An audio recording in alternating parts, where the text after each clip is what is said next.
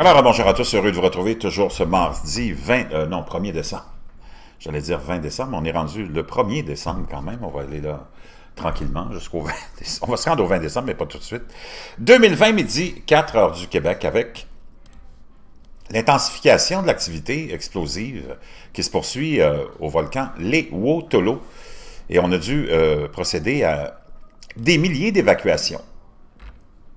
J'en avais parlé euh, avant hier, je pense, ou même si ce pas hier, l'activité explosive se poursuit sur le volcan indonésien le, euh, Les Wotolo, lundi 30 novembre 2020, donc hier, après qu'une éruption majeure dimanche a envoyé des cendres jusqu'à 15,2 km ou 50 000 pieds de cendres dans le ciel. Le code de couleur de l'aviation avait été porté au rouge à la suite de l'éruption et du statut d'alerte porté à 3 sur 4.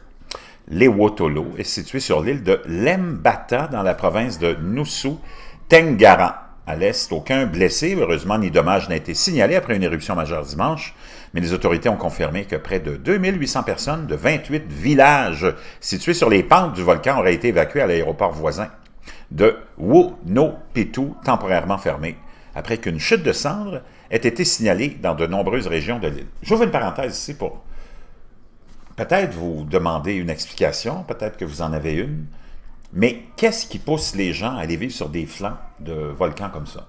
Et on le voit, ce n'est pas le seul endroit, il y en a plein.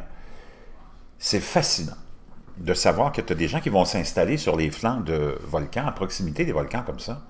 C'est un mystère. Enfin, l'Agence d'atténuation de catastrophes exhorte les villageois et les touristes à rester à 4 km du cratère et à être conscient des menaces potentielles car la zone près du volcan est susceptible d'être inondée de coulées pyroplastiques, de lave et de gaz toxiques.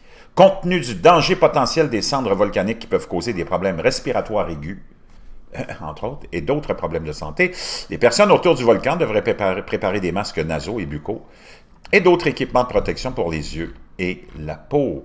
Je vous laisserai le lien de ça, vous verrez les images spectaculaires de tout ça qui, franchement, euh, te font vraiment te questionner sur l'idée de rester, d'habiter sur des flancs de volcans.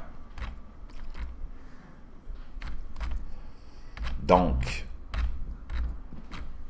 selon euh, l'agence, euh, l'éruption a été enregistrée sur un sismographe d'une amplitude maximale de 35 mm et d'une durée de 600 secondes.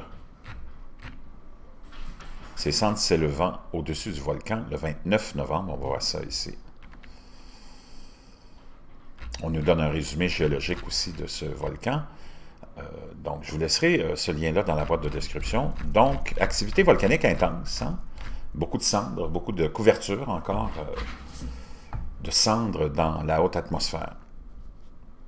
L'activité explosive se poursuit à Les Wotolo après une éruption majeure du 29 novembre, des milliers de personnes évacuées.